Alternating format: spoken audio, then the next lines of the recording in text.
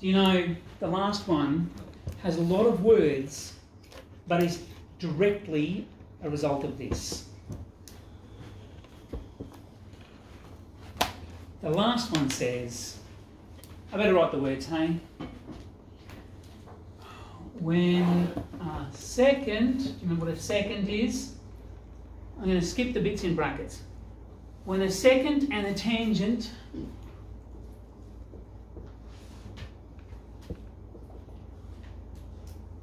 are drawn to a circle.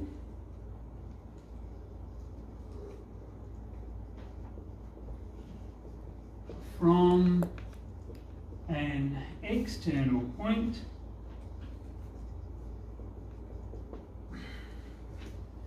The square of the length of the tangent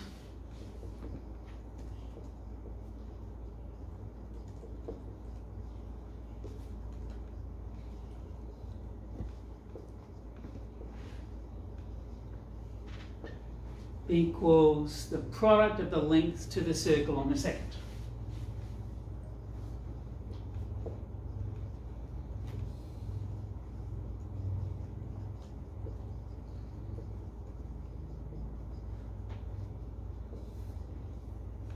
To the circle on the secant. I'm going to run out of room for examples. Tangent, secant.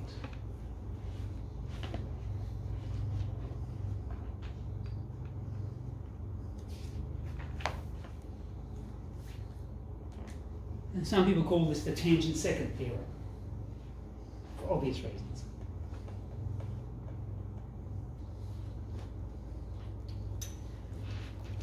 So have a look at this. Think about what happens as this secant, the top line, gets closer and closer and closer to the top of this circle.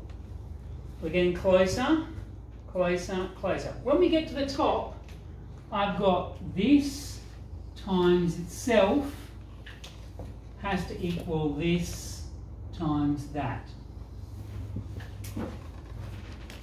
That's all this says the square of the distance along the tangent is the product of the lengths along the secant. It's, it's just a direct consequence of this. When one of those secants just touches the circle once. That's all it says.